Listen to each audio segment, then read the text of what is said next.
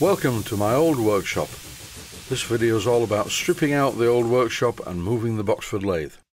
But first, my only vice. This is definitely these days my only vice, and it's a very big vice. It's one that I bought about, I don't know, 30 years ago from a second-hand shop, and it's been much used and much abused over the years. When I first bought it, I painted it with blue hammerite, which has lasted well over the years, but it's time now for a bit of a facelift. I'm using a Proxxon angle grinder to remove the rust. This angle grinder is a very useful tool and it's not fitted with a grinding disc at all, it's like a flapper wheel on there and it really cuts through the rust and the loose paint on the vise. This by the way is in the outer part of the workshop right next to a wide open garage door which is just as well because it's making quite a lot of dust. So stick in an impromptu health and safety warning. When doing jobs like this please wear a breathing mask and possibly eye protection in case any metal chippings or bits of paint fly off into your eyes. You can't be too careful where health is concerned. I'm not going to get too obsessive about this vise, I'm just cleaning it up and I'm going to paint it. But before that, the bench needs cleaning up. This is my friend Martin Shaw with the vacuum cleaner and I'm continuing to remove more rust and paint from the vise. I didn't want to get paint all over the bench, so we broke up a piece of the white melamine that's normally on the workbench in the workshop to use as a base for painting the vise. And a quick wipe over with some panel wipe, which is naphtha, on a rag, cleaned it up a little bit. And now, without further ado, the vise is in position and it's time to do a bit of painting. The paint that I'm using is Phoenix Precision Paints Single Pack Etch Primer. Really though, I'm only using up the contents of the tin, because the tin's nearly empty. While the paint on the vise is drying in the outer part of the workshop, it's into the inner part of the workshop to have a look at the progress so far. Well, the workbenches are pulled out from the wall, the worktops have been taken off the stands. All the drawers are fully empty at the far end of the workshop, but it still seems to have quite a lot of things in it. It amazes me how much junk I've collected over the last 30 years or so. Quite a lot of it's gone in a skip, Panning the camera around the workshop, though, shows me that yes, we are making an impression on it at last. Now comes the fun part. We need to move the Boxford lathe, but after moving the Smart and Brown lathe, this will be like a walk in the park. As you watch this video, it doesn't seem like I'm doing any of the work, but that's not strictly true. I'm operating the camera at the moment. We got a bit stuck at this point because Martin wasn't strong enough or heavy enough to pull the lathe onto the rollers, so I stepped in and did so. As you can clearly see, Martin is struggling to move the lathe. He's a bit weedy. But it's not strength that's required, it's body weight. So I got Martin to oil the rollers, and I initially pulled the lathe onto the rollers by myself. Martin's now continuing where I left off. Now it's a simple job to do one end at a time and move it across the rollers until we get it in line with the door. Moving this lathe was so much easier than moving the Smart and Brown lathe, that was terminally heavy, and even with two of us with a crowbar, it was still an effort to move it anywhere. But this is not too bad. In no time at all, the Boxford is on the move. I kept stopping the camera while I helped Martin put the rollers in the right place.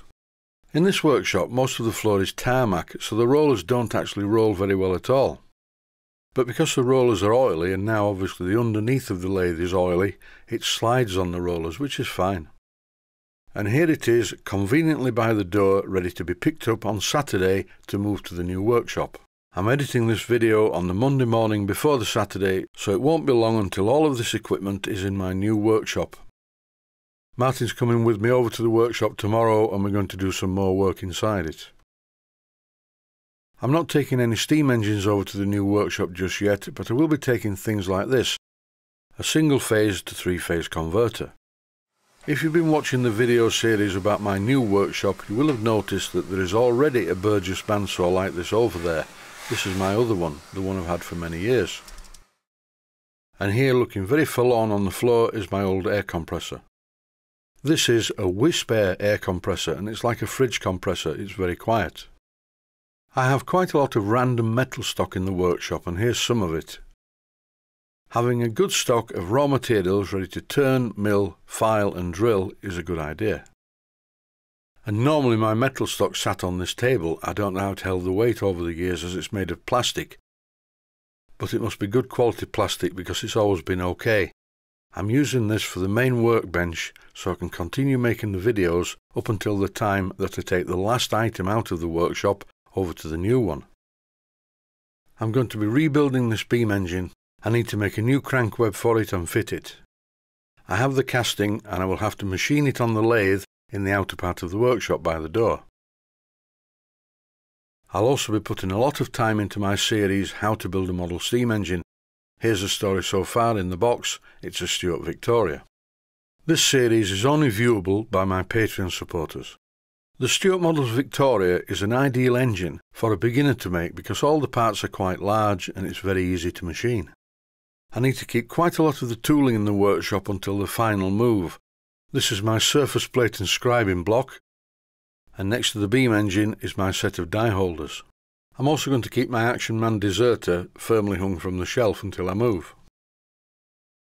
Also remaining until I finally move to the new workshop are my sets of drawers full of nuts and bolts. And there you have it, the workshop is nearly ready to move. Well, almost.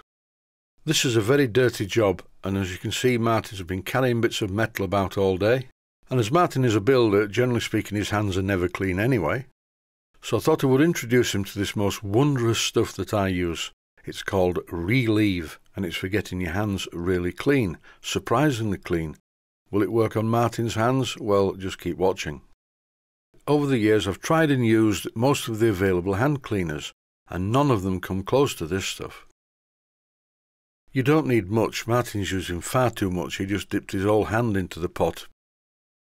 And now what he's doing is rubbing it into his hands. No water yet, this is dry, the stuff is on his hands. And to illustrate this, here are my hands with a lot less on than Martin's using.